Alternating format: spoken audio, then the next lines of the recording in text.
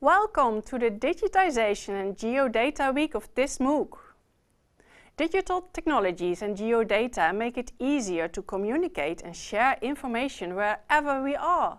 But it also helps to study changes in urban development that can serve as a guide to discover advanced metropolitan solutions. First, you will learn about the need for open source city data to facilitate learning across cities, both globally and locally.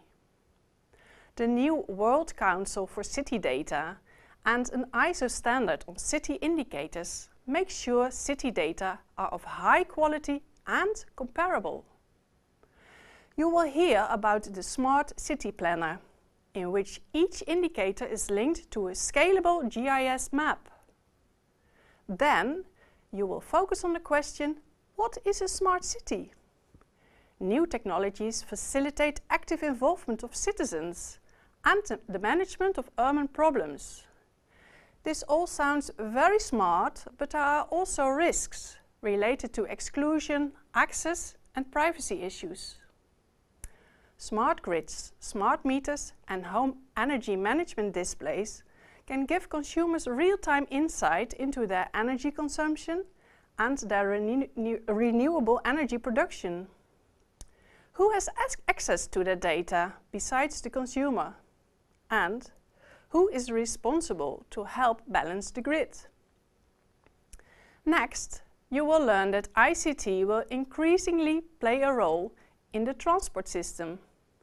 It makes traveling easier and it sometimes provides an alternative for travel, such as in case of e-shopping. However, it also generates new transport. Then you will dive deeper into various data and mapping methods that address urban challenges. Combining data on water with socio-economic and spatial data resulted in the Water Square in Rotterdam, the Netherlands. Another example you will learn about is energy potential mapping, which can help urban developers to plan an energy efficient or even carbon neutral neighborhood. Next, you acquire knowledge on how different forms of sensing technologies and GIS-supported spatial analysis can help to discover the relation between urban form and livability. The phenomenon of the urban heat island and its influence on human health and well-being serve as an example. Finally, you will learn why 3D geoinformation is important for sustainable urban development. You will get insight in the organizational and governance challenges for providing such data for a wide variety of urban applications. In the practical assignment, you are asked to study changes in your urban area by using satellite images. We also raised the question how this type of data will be helpful for your daily practices.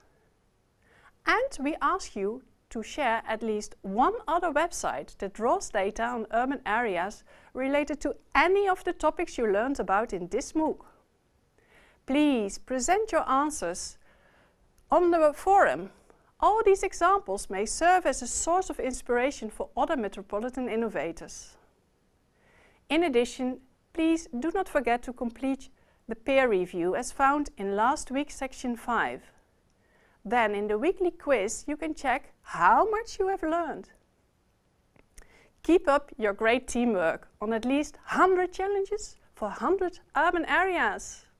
Now I wish you loads of fun in this week.